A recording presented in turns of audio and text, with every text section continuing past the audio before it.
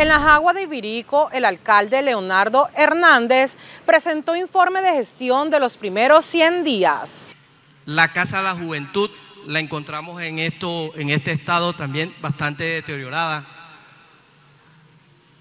La villa, la villa, eh, la, villa deportiva, la cancha, eh, en la misma, en la Villa Olímpica hay una piscina que está como criaderos de mosquitos y de sapos y la antigua alcaldía también la encontramos en ese estado, como usted lo está observando, y ustedes lo observan como comunidad. Mire, antes de que siga, yo sí quiero decirle a todos ustedes, esto simplemente es falta de sentido de pertenencia. Eso se puede arreglar con poco.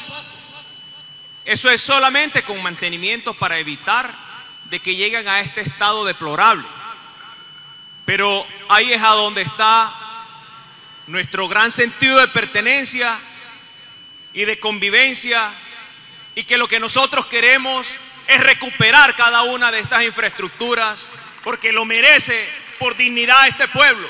Yo sí quiero, Robert, darle un parte de tranquilidad a muchas personas, porque quizás aquí hay personas que son beneficiarias en el tema de viviendas en sitio propio y nosotros no hemos venido a ser talanquera para que se cumpla. Si hay algo que nosotros tenemos como filosofía en la administración de los buenos tiempos es que queremos darle terminación exitosa a cada una de las obras, más bien a cada uno de los chicharrones que nos dejó la administración anterior.